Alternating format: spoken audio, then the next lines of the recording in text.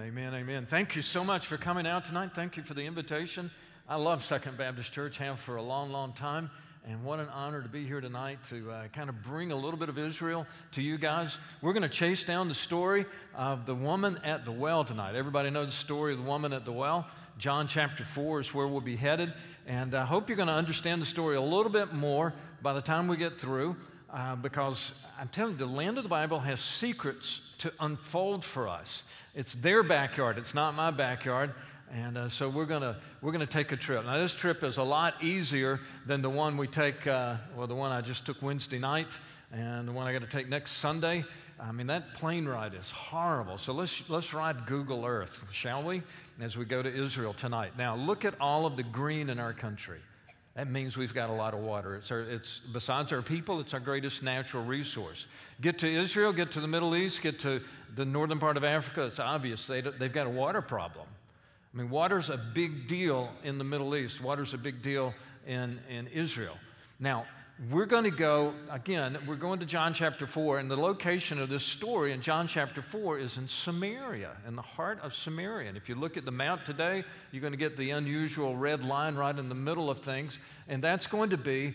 Um, that's going to be Samaria. It's going to be called the West Bank there today. And if you get inside the West Bank, you're going to see some signs that look like this. The sign will say, Don't come in here if you're Jewish. This entrance is forbidden for Israeli citizens, and it's dangerous. And this passage, this is not our passage for tonight, but watch this in Luke chapter 9.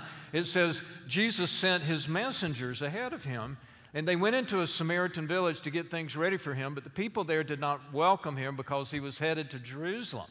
See, he's Jewish, and Samaritans don't like the people headed to Jerusalem. When his disciples, James and John, those are two of the good ones, you know, this is, these are the winners here. They get to, they get, they see this and they say, Lord, would you like us to call down fire on them? I want to tell you something. If your plan A for dealing with people who don't look like you, act like you, vote like you is to just kill them, you got a problem. And these are disciples good disciples, part of the part of, part of the three. You know, Jesus rebuked them, and they, they went into another village. But Jesus is going to take his disciples into this Samaria. The Bible simply says, as you as you begin chapter chapter four of John's Gospel, he had to go through Samaria. Truth is, he didn't have to go through Samaria. In fact, they almost never went through Samaria because of hard feelings like this. And that sign right there is, is over the same geographic community of what the Bible talks about in Samaria. Now, people, you know, people ask me when they find out I go to Israel and they see signs like this, they go, Aren't you nervous to go to Israel? And I always give them the same answer. As soon as I get through Macon, Georgia, I start to relax. But I am pretty nervous going through Macon. You know, Israel is a very safe country. I think you'd like it if you've not been there. How many of you have been to Israel? I know some of you have gone, look at all the hands tonight. Oh my goodness. That's like the highest percentage ever. Did you know on average only 1% of the people who, are, who go to church have, are ever going to get to Israel? Only 1%. And so my ministry is about bringing the message from the land of the Bible to audiences everywhere. And so that's what we're doing tonight. So let's, uh, let's zoom down to where this story took place because we're going to be in the heart of Samaria. To, if, you, if you're into modern day politics, this is the West Bank. It's, it's carved out of Israel. Israel's very very small country. That's one reason you can see it in such a short period of time. You can put five Israel side by side in the state of Georgia. And so we're going now into modern day Nablus. This is also Shechem from the days of uh, Abraham and Jacob. Jacob's well is here. Uh, Joshua brought his people back, and on one side, on, on Mount Gerizim, he would put the people, half the people, and they repeated the blessings of following God's law. On the other half, Mount Ebal, the, the curses of not following God's law. So this is a very famous community already in the Bible. And when Jesus gets here during New Testament times, it's called Sychar. And as you know, he met a woman at the well here. So let's read the story while, while in the village of, um, of ancient Sychar. The Bible says, chapter 4, verse 4 of John's Gospel, now he had to go through Samaria. And he came to a town in Samaria called Sychar near the plot of ground Jacob had given his son Joseph. Jacob's well was there. There's the reference to Jacob's well. It's probably the well Jesus stopped at. He's thirsty, it's hot, it's in the heartland of Israel. I promise you it's hot. It's, uh, it's, it's just, it's closer to the equator, it's very, very hot. As tired as he was, he sat down by the well. It was about noon. And a Samaritan woman came to draw water, and Jesus asked her, Will you give me a drink? His disciples, all 12 of them, had gone into the village to buy some food. That's another sign that they were nervous about being here. That, you know, because they're, they're like, how many does it really take to go get food for 13 people? It doesn't take 12 to go get food for 13. But 12 feels better going into the wrong side of town to the wrong grocery store to buy, you know, food that you hope won't kill you when you get back and have the picnic. But they all go in, and that leaves Jesus alone with the woman who's come out to the well. Would, would you give me a drink? He asked her. And, and John even adds Jews do not associate with Samaritans. Jesus answered her, If you knew the gift of God and who it is that asks you for a drink, you would have asked him, and he would have given you living water. Sir, the woman said, You have nothing to draw with, and the well is deep. Where are you going to get this living water? Now, I just want to stop there. I think you know the rest of the story, probably do, but if you don't, you can read on, or I'll just tell you real quick. Uh, they, they have this back and forth conversation that's really, it sounds kind of rude. As a matter of fact, the woman, in the, at least in the scripture, never gives Jesus the drink of water he asks for. She's just all about, we're different. You're a Jewish man, I'm a Samaritan woman. Are you really going to drink out of my Samaritan ladle? And, you know, and, and, and then the disciples come back, and about that time, Jesus has confronted her. And we're going to pick that story up in just a minute. But here's my main point Jesus said to her, if you had asked, if you had known the gift of God and who it is who asked you for water, you could have asked and he would have given you living water. And she seemed to know what he was talking about. But you know, it's not my backyard. And to me, growing up in church like I did, maybe you're like me, I, I, grew up with the King James Bible. I grew up, you know, hearing the King James Bible. And after a while, it, it's like Jesus just talks. Jesus just says stuff like this. Instead of saying, I've, I've got the peace that you want, I've got what you want, he, he would say something, it's poetic, you know, I, I'll offer you living water. But she seemed to know something that I don't know. And now that I've been to the land, I know exactly what she was thinking that Jesus was saying, and I know what Jesus was trying to illustrate for her, and we're going to go chase it down. So here's what we're going to do. First of all, you got to know that water, again, is critically important, and people had to store water all year long to drink it. You know, if they were going to have water, and say in September or October, it only rains in the winter. So the rains will start coming down in November, latter half of November, and, and then December's pretty rainy, and January's pretty rainy, and then February it starts to taper off, and after that you get a few showers in, in March, and then it doesn't rain. I mean, it does not rain. It'd be easy to be a weatherman in, in Israel, because once you get to, to April, you're just saying, well, it's going to be sunny today, and, and it's going to be sunny for the next 200 days. And it's just not going to rain again until November. That's pretty easy weather forecast. Now, here's a water cistern in Jerusalem. Would you really want to, to drink in that water cistern? You know, what if you're hot? Could you go swimming there? If you go swimming in the community's water supply, you may never be able to walk again after your parents get through with you. Now, here is some water in what's called a mikvah, but I couldn't resist putting this picture in. This is in Magdala, where Mary's from, Mary Magdalene. Um, and, and it had rained the day before, and so this water was very clear, and I kind of like that. It's certainly much better than that water, don't you think? Now, that, that's, that's going to be some cistern water. And you think when she comes out to the well, she's, yeah, it may be a well like you're used to in South Georgia, or where maybe you even have a well today that you, my grandparents had a bucket that actually went down in a well and we could get it there, you know. I mean, that was, that was a long time ago. Uh, but check that out. What if you had to drink out of water like this? You see, by August, that may be what it looks like. And if you've ever wondered why there's so much wine in the Bible, this is why. You see, the wine, it's not about getting drunk, it's about putting something on the table that won't make your family sick. You got to do something to boil the water, to make the water where you can store it, where it's in a safe form. But I promise you, this kind of water right here, I've seen people actually get in that water, wash their clothes in that water, and, and even pull some out. I pray they're not drinking it. And what if you had to, to get your water from a water shaft like this? This is down in Beersheba. Beersheba's uh, Abraham lived there during part of his days. And you go to this water shaft, and it's amazing. And this is not the only one. This is actually pretty typical. Look at the steps going down here. Now, watch this drone video. We're just going to keep going down in the steps and down in the steps. And what if you had a heavy water jug like this one? And this one does date back to the time of the New Testament. So if you want to come out and check it out, you know, it's uh, the guy who sold it to me tried to tell me it could have been the one. You know, the woman left it at the well. Told him I couldn't afford that one, but I'd, I'd buy this one. And then we just kind of worked out a price for it. But no, seriously, there's a lot of artifacts. Um, that's one of the things that surprises people is that you, you can, they're, they're finding so much stuff in Israel. And most of, the, most of what's been discovered in Israel has been discovered since 1990. 1990. And, and the land is just, it's just, it's coming right out of the dirt. Archaeologists are doing us a favor. Now, let me, let me just, just stop and do a little sermon within the sermon. A hundred years ago, there were scholars, sometimes even in seminaries, it was cutting edge education to say when we find out all the evidence, when archaeology does its work, when science finally gets to the Bible, we're going to find out that the Bible's not true.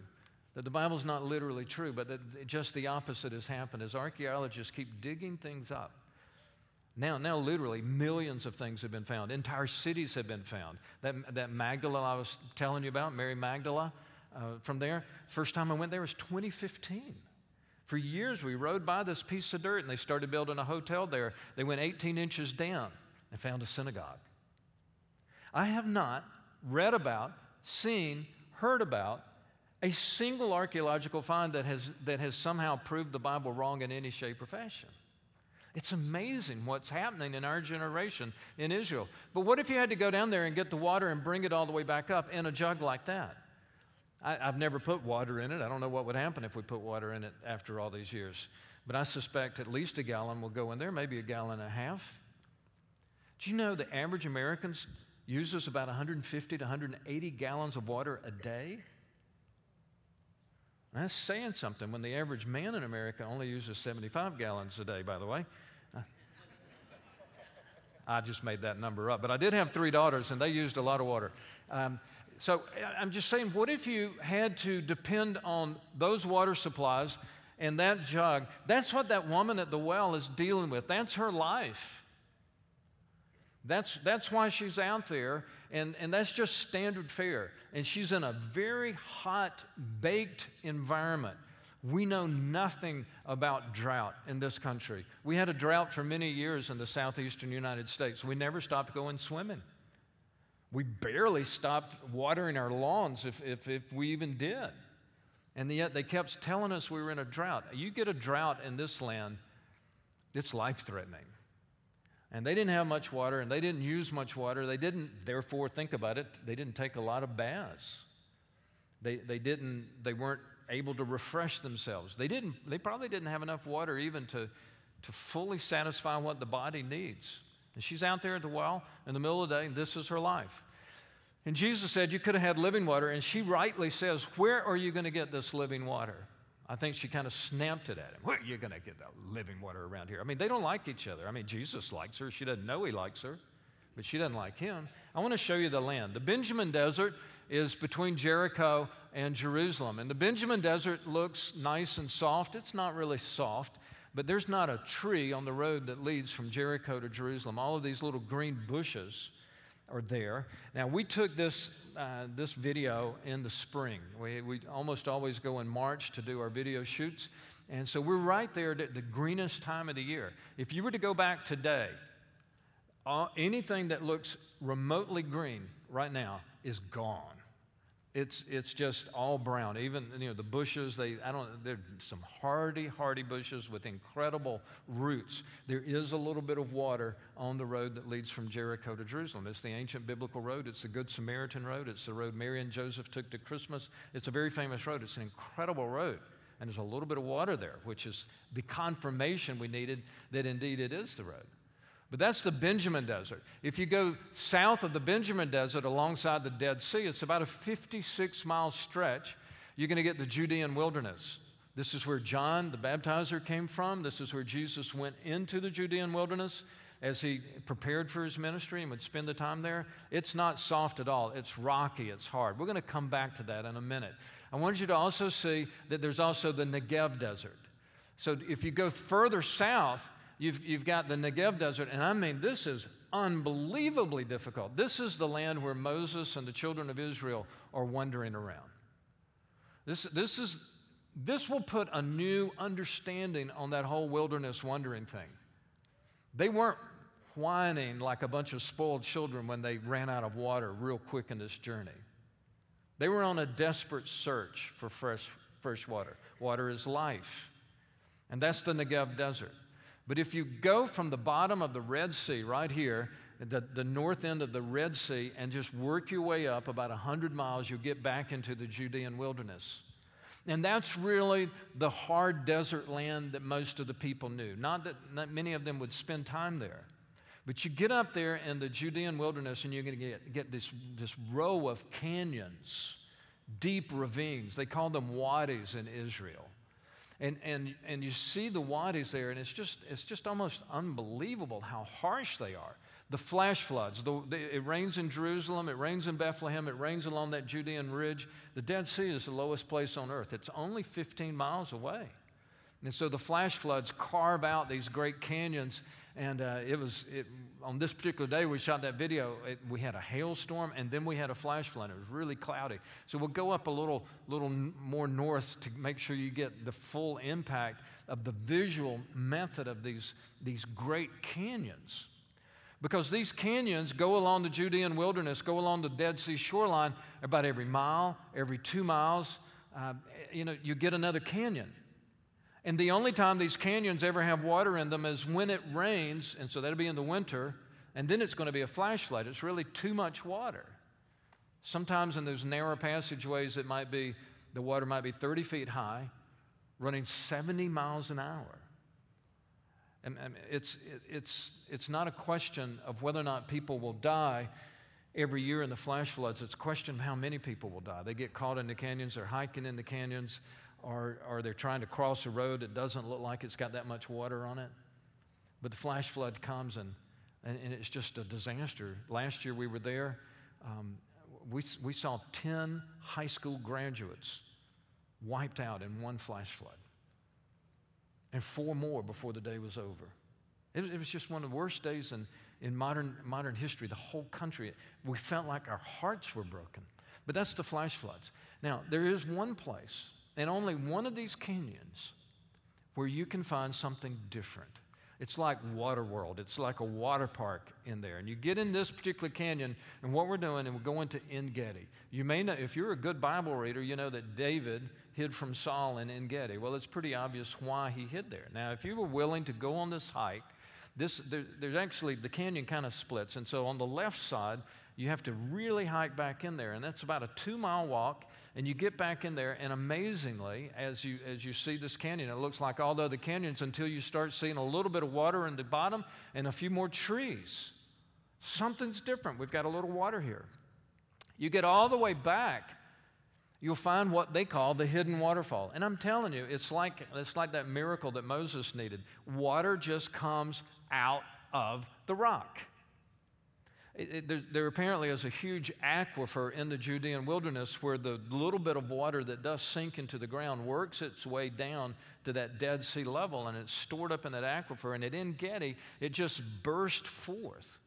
Now, this is the cleanest water, the purest water. It's also refreshing. Picture this being a 115 degree day, which I've been there. And you, and you get to go swimming you can, you can sit under these waterfalls and let it just massage your shoulders. I mean, that feels so. I, I try to do that every time I go.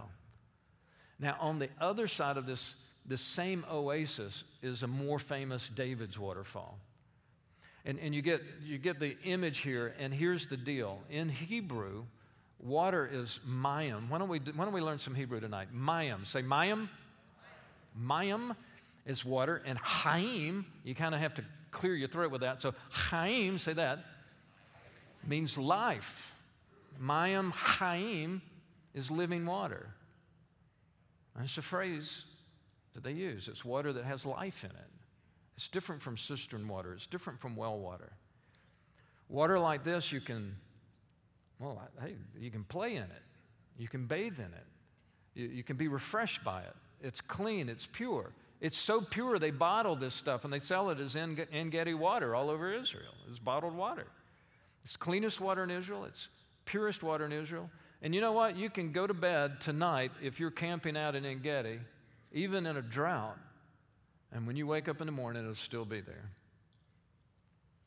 Jesus asked this woman for some water, and she snaps back at him, and they go back and forth and said, You know, if you knew who, who it was that was asking you and what God's trying to offer you, you could have had some living water. And she says, Where are you going to get it? They're probably 70 miles from En Gedi. There are other waterfalls in Israel, but she was nowhere near one, not in the heart of Samaria.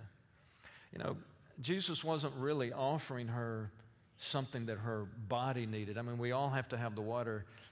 You know what he was offering her? He was offering her a solution for her life, her brokenness.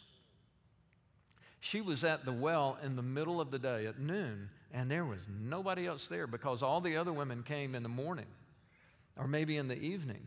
That's when the crowd would gather around the well. And she's intentionally come out in the middle of the day because she has so many broken relationships in her life. And we know this because Jesus asked her, I mean, she just continued to be rude to him. And so finally he says, Why don't you go get your husband and call him, bring him back, and we'll, we'll talk about it. And she says, Well, I'm not married. I don't have a husband. And he says, Very truly, I say unto you, which means finally you've said something right. You don't have, any, you don't have a husband because you've had five husbands. And the man you're living with right now is not your husband. She immediately understands that he's a religious man, a holy man, a prophet.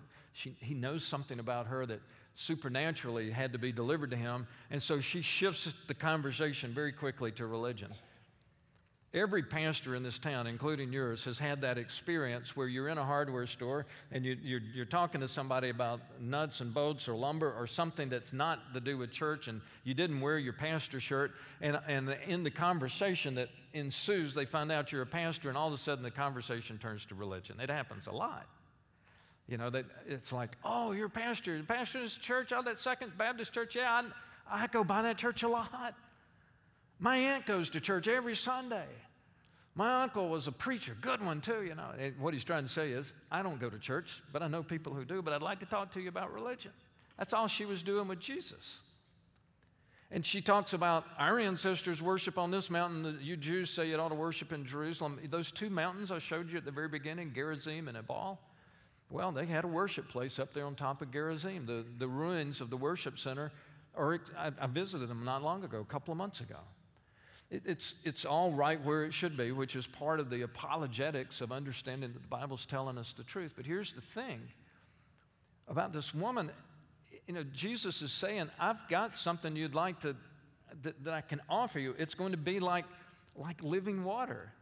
Wouldn't you like a peace that passes all understanding? Wouldn't you like a life that's so full you have to call it an abundant life? She gets so excited, she leaves the water jug at the well, runs into town, tells some people in her village what's going on, and, and they come out and invite Jesus to stay. About the same time, the disciples come back with the food. Pretty much, I can see the disciples. They've done this in some other situations where they're saying, Come on, Jesus, here's the food. Let's get out of here. Let's go, let's go, let's go, let's go. And he's like, Got to change in plans. Let's stay here tonight.